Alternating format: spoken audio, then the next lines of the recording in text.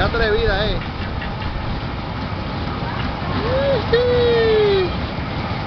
No, ya está ella hundiendo botones y todo.